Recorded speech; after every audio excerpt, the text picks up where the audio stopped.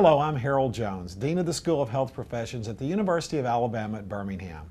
Thanks for joining us today for another discussion in our continuing monthly series where we interview experts in our school.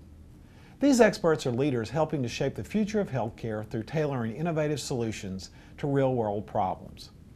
Joining us today is Dr. Mary Warren.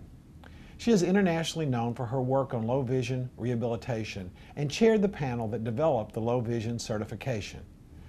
She is an associate professor and director of the Graduate Certificate Program in Low Vision Rehabilitation in the Department of Occupational Therapy in our school.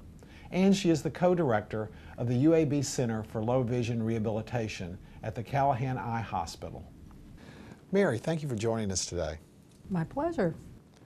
Could you tell us a little bit about the difference between low vision and the definition of that and blindness, and how prevalent is low vision? The basic difference between blindness and low vision is that people who have low vision have vision. They have vision that they can use if they're given proper training and, and optical devices to use it, whereas persons with blindness have no vision, so they have to find other ways to complete their activities. In terms of the prevalence of low vision, that's kind of difficult to determine exactly because of the different definitions, but the most conservative estimate is that there are three and a half million adults with significant vision impairment. More importantly, though, there are um, a large number of adults who are at risk for low vision. There are 18 million older adults who have cataract and there are 9 million older adults who have age-related eye disease. In addition, we have people who experience vision impairment because of stroke and traumatic brain injury, um, who also have vision problems because of neurological diseases like Parkinson's disease, multiple sclerosis, Alzheimer's dementia. You mentioned uh, a few conditions that could result in low vision. Could you tell us a little bit more about what are the major causes of low vision that you see in the clinic? I can preface that by, by saying, first of all, that two-thirds of people who have low vision are over the age of 65. So age is considered the best predictor for getting low vision. That said, there are three eye diseases that contribute to about 90% of the referrals to a low vision clinic. The first one is age-related macular degeneration. It's the leading cause of low vision in adults in the United States, and that's followed by glaucoma and diabetic retinopathy. You've recently been appointed as the co-director of the UAB Center for Low Vision Rehabilitation. Could you tell us a little bit about the services that are offered through the clinic?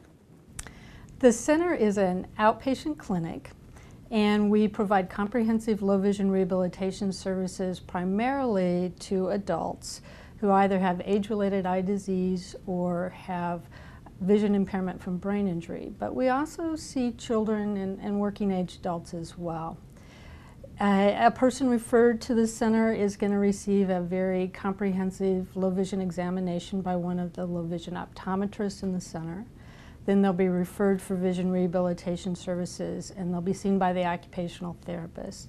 And we'll work with them for several sessions, either in the clinic or in, the, in their home or in the community on the activities that they need to do. We also have a, a orientation mobility specialists who work with clients who have difficulty with travel because of their vision loss, and we have a psychologist to help them with adjustment issues. Could you tell us a little bit more about the role of occupational therapists uh, in the low vision clinic and why occupational therapists in particular are well suited for that role?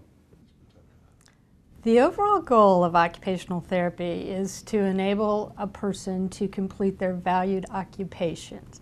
So occupations are those everyday activities that give life meaning and value. So when we're working with, with these clients, it's, it's addressing those issues. And it can be as simple as putting on your makeup or eating, your, eating a meal without spilling and, and making a mess to driving a car, doing your finances, shopping for groceries. So it depends on what they want to, to accomplish.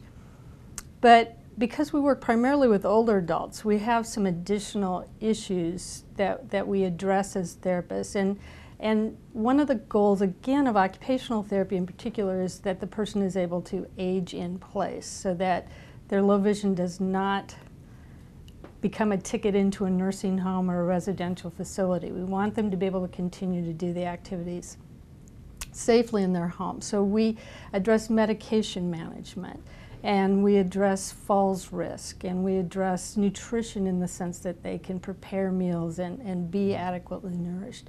And those are additional things that, that we do. As far as, a, as occupational therapies fit for this, occupational therapists are broadly trained in aging and disability. And that broad training serves us very well in working with people with low vision because two thirds of them are going to have another chronic impairment that affects their ability to do their daily occupations. And as occupational therapists, we're able to address both things. So I might see a client and work with them because of their vision impairment, but at the same time, I'll address the arthritis in their hands. Um, or if they've had a stroke, I'll address those types of issues. As prevalent as low vision is, uh, based on the numbers you gave us before, it seems to me that these wonderful services you're describing are not known about by many, many people. Why do you think that's the case? That is probably one of the most frustrating things for us who, who work in low vision rehabilitation is that less than 10% of the people who should see us do get services. And it's not just in the United States, that's, that's an international problem. The reason is probably a, a, combination of factors. There are not a lot of specialists in low vision rehabilitation even today, even though we're 20 years into it as a, as a medical uh, rehabilitation program, there still are limited clinics. But the biggest reason is that it has a slow onset. Persons with low vision are older adults. They have lived most of their life as sighted individuals. They get an age related eye disease that starts to affect their vision in their 80s. And it's affecting them at, the, at a time when they're also just generally slowing down and experiencing other limitations. And they don't realize that, that this is not a, a normal part of aging and that there are services that could help them continue to age in place. So we have a hard time getting those people to come into the clinic. Whereas if, if something happens directly related from a stroke or a sudden onset like that, it's very, those, those people are automatically referred. So it's a combination of things. In addition to being the co-director of the Low Vision Rehabilitation Center, uh, I also know that you developed and direct the Low Vision Certification Program, the first of its kind, uh, in the Department of Occupational Therapy. Could you tell us a little bit about that program? Sure, I'd be happy to. Our um, program, our graduate certificate, is for practicing clinicians, so working clinicians who want to develop competence in low vision rehabilitation. So it's graduate level education with a very specific focus.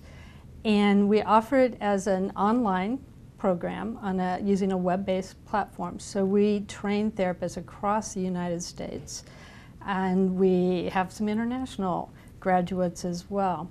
It consists of 15 credit hours of concentrated education, three credit hours per semester. They're with us for five semesters. Mary, thank you once again for joining us and sharing with us your expertise in the area of low vision. We really appreciate you spending time with us today. Thank you for having me. To learn more about the low vision program in our school, go to the occupational therapy website at uab.edu slash OT.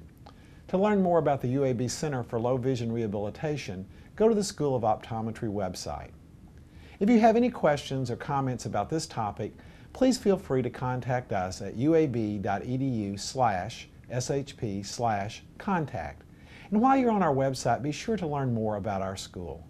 Once again, thank you for joining us. I'm Harold Jones, Dean of the UAB School of Health Professions, where we're shaping the future of healthcare through tailoring innovative solutions to real world problems.